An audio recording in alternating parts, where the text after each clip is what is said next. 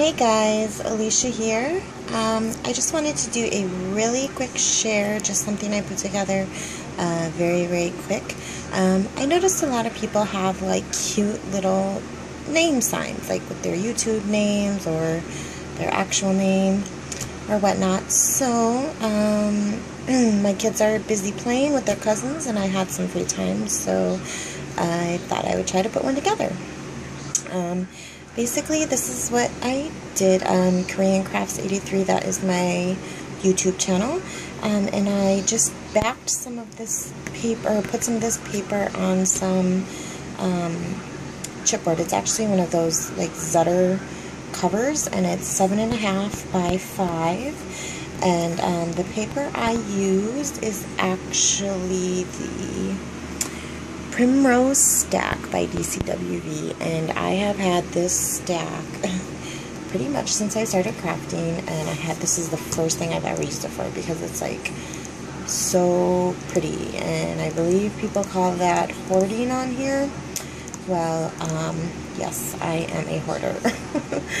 but I decided to use it because this is something that I will probably use very often. So, um, like I said, I backed um, or I put the laid the paper on some chipboard using some Scor-Tape.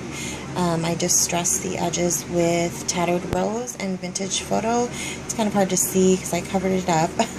but um, this is pink lace. Um, this is just some lace from my stash along with this lace. And I just um, put that down with some Fabri-Tac, which actually like using. It works pretty well and uh, I don't burn myself. so that's always a bonus. Um, I got these appliques actually at a garage sale, um, and there were two in the package, and I also have been hoarding those, and so I decided to use them on this, and I just put one in each corner, and I thought that was cute. Um, these chipboard letters are actually the BasicGrey um, Hey Girl line, um, and I thought they were pretty cute. I looked through all my thickers, and some of them were too big, and some of them weren't the right color, and I thought these looked pretty good. So I put them on there. Um, I just put some flat back pearls right here. Um, this is just a little metal piece out of one of those Recollections packages that was um, on sale for 99 cents and everybody was grabbing them like crazy, me included.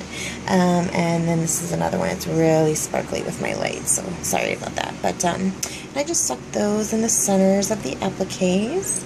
And um, I just thought I would keep it very um, simple, you know, something quick. And then I have this stand and we'll just sit on there nicely like that.